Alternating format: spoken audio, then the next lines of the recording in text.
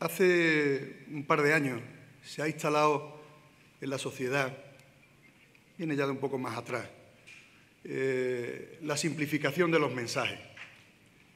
Criticábamos y admirábamos a la vez cómo Podemos había conseguido, con un solo mensaje, eh, apoderarse de gran parte de la opinión pública y del electorado en España. El mensaje de la casta. Que hay gente que forma parte de la casta y que ellos son los puros y los verdaderos.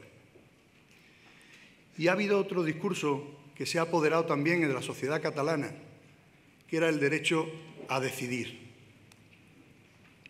Y qué curioso que gran parte de la base de esos insultos que estamos recibiendo en las redes sociales tienen como base precisamente esos dos argumentos, que han comprado muchos compañeros radicalizados y han comprado algunos compañeros con mucha tranquilidad y defienden un derecho a decidir frente a los órganos representativos del partido, o contra, que es peor, y han comprado también que hay una parte del partido que son sus dirigentes que forman parte casi de una casta.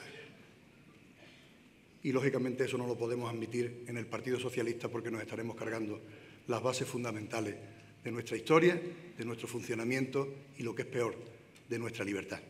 Muchas gracias.